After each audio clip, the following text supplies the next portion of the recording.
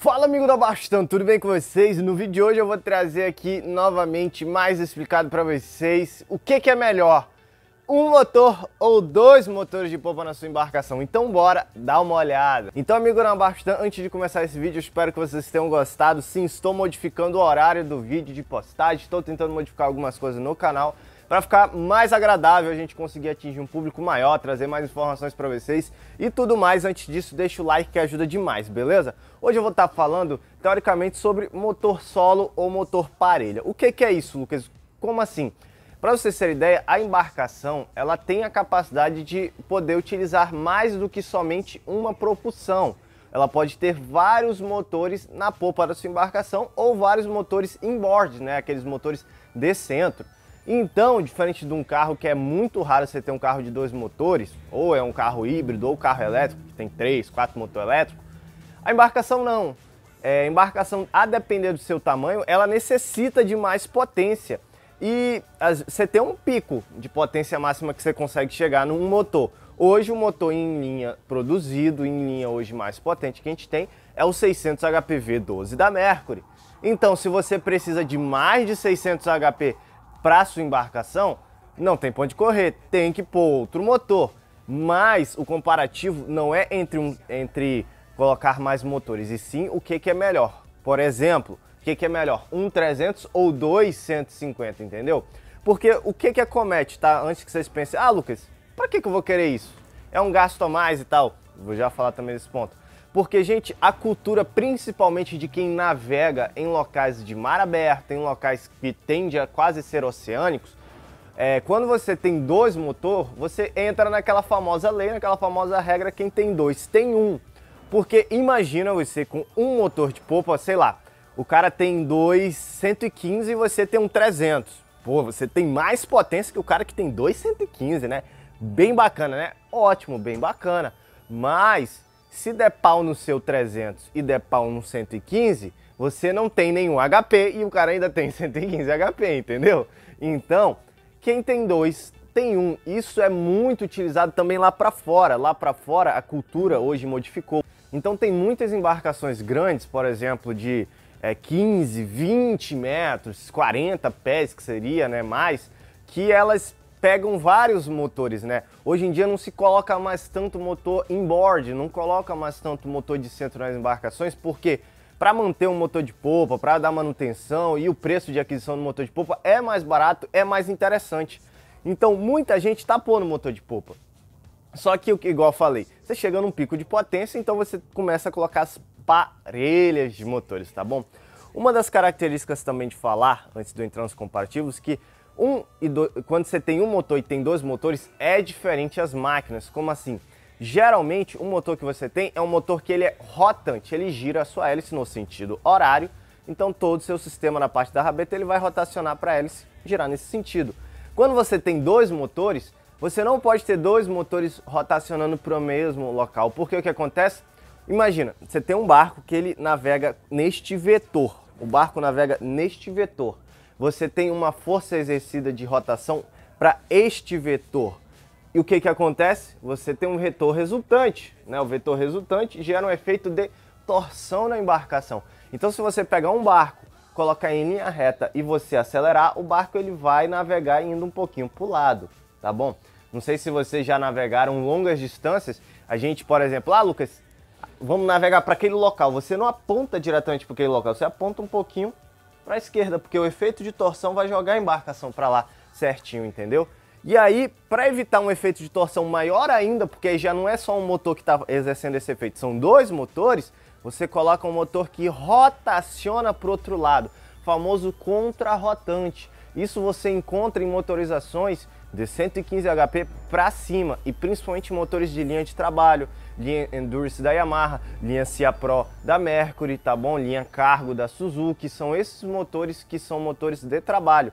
E aí quando você tem, esse é um ponto positivo, desde já já falo para vocês. Quando você tem um motor que rotaciona para um lado, e gira um efeito de torção para cá, um que rotaciona para esse lado e gera este efeito de torção da mesma potência, as forças se anulam e a embarcação tem uma dirigibilidade, uma navegação mais retilínea entendeu? Isso é muito importante, tá?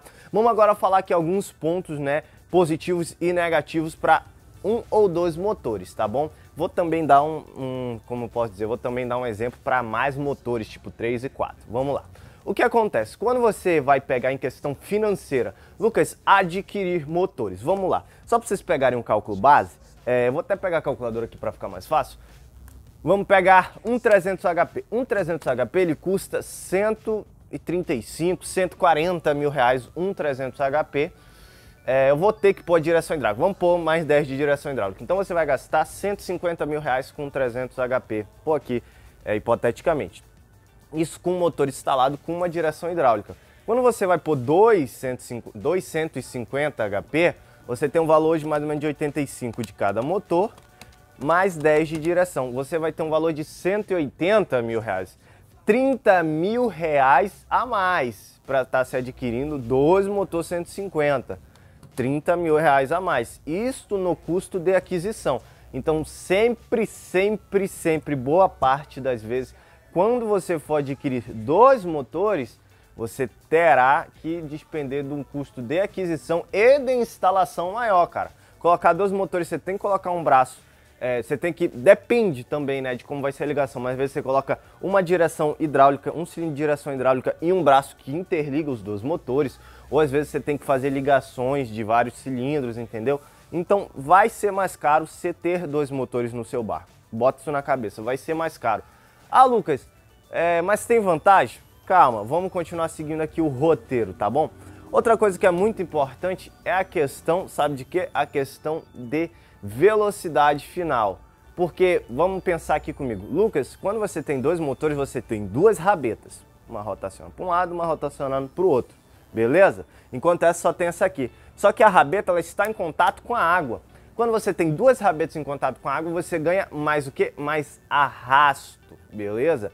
Este arrasto a mais dá, em média, uma perda de potência, ou seja, 250 HP, teoricamente não é 300 HP, isso tipo assim, para dar uma base para vocês. Você tem uma perda de 20 até 35%. Por que 20 até 35%? Porque isso vai variar de acordo com o torque que esse motor consegue lhe entregar. Se você tem motores muito pequenos, por exemplo, 215, esses motores, eles não têm um torque tão grande comparado a 2,200, entendeu? Então, esse arrasto a mais que vai ter, os 215 vão sentir mais. A perda vai ser maior em 215, entendeu? Então, em velocidade final, eu já lhe falo de maneira básica. Um motor 300 HP anda mais que um que 250. Um 400 HP anda mais que 2,200. Anda mais, velocidade final a mais. Uma velocidade final a mais absurda, dependendo do casco você pode ter ganho até de 10 a 15%, mas na média ele vai andar 5 a 10% a mais, tá bom? Não é uma coisa tão absurda, mas sim, ele tem uma velocidade final, final, manete abaixada a mais. Lucas, torque, torque, capacidade de mover cargas, arrancada, aí a gente tem vantagem para dois motores, porque a máquina de dois motores, por exemplo, 250 HP, você tem é, dois motores 3.0. Vou pegar o da Mercury aqui. Você tem dois motores 3.0. Somando junto dá um bloco 6.0? Não, ninguém soma isso. Mas são dois motores 3.0 e 4 cilindros. Enquanto você vai para 300 V6, o seu bloco é um 4.6. Soma de cilindrada, você tem uma cilindrada maior aqui nos 250. Tem a perda, mas em questão de arrancada, para deslocamento de massa, para colocar peso na embarcação e trabalhar principalmente, os dois motores vão ser mais interessantes, eles vão lhe dar uma arrancada melhor. Lembrando, como tem três palhetas, vamos dizer, né? Tem uma hélice com três pás rotacionando um 300 e tem ali em 250 tem seis pás rotacionando esse motor, tanto o arrasto de pá que tem a mais, ela vai lhe dar mais arrancada, vai lhe dar mais torque, vai conseguir entregar melhor essa potência em baixo giro, em baixa rotação. Com isso, a gente vai chegar sim a ter uma velocidade, digamos, inicial e média mais interessante para os dois 150 HP, tá bom?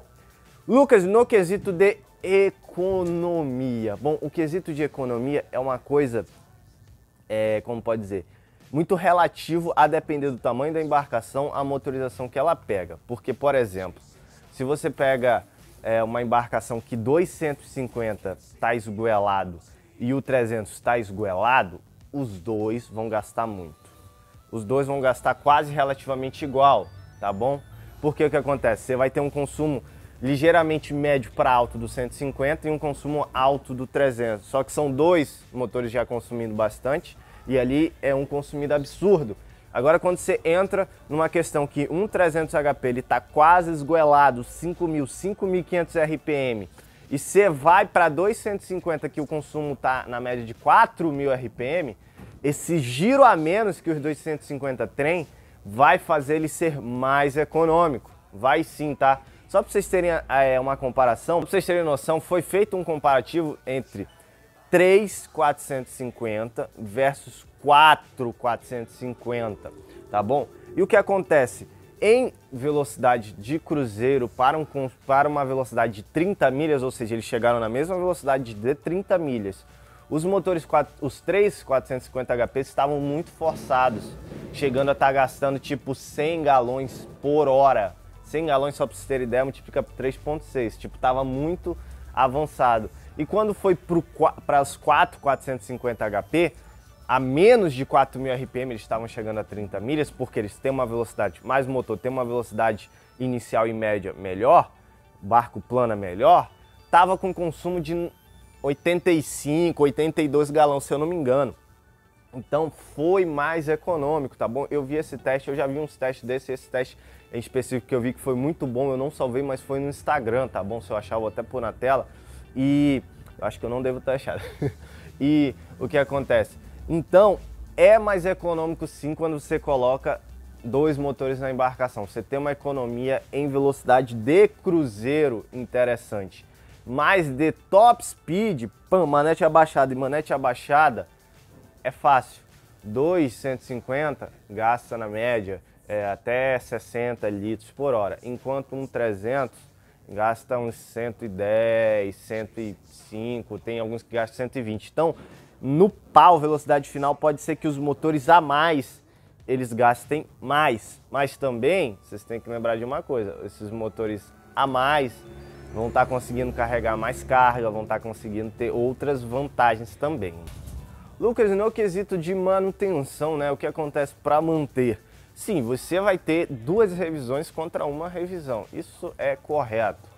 Ou seja, uma revisão é mais barato que fazer duas revisões. Você vai fazer uma troca de óleo, você vai fazer uma troca de filtro, você vai fazer uma troca de rotor, você vai trocar uma, é uma troca de vela e tal. Mas você tem que lembrar de uma coisa muito importante. O seu motor solo contra a parelha, a parelha será muitas vezes muito menos exigido. Porque o que acontece? Para você chegar a uma determinada velocidade, o motor ele tem que atingir tal RPM. E sempre, sempre, sempre, o 300 HP, no comparativo que eu estou fazendo aqui, ele vai ter que estar tá com RPM maior comparado aos 250 HP. Porque tudo, gente, é RPM. Aqui a gente não tem marcha. A gente não é um 600 HP que tem meio que duas marchas, né? Tem sistema de engrenagem dupla lá.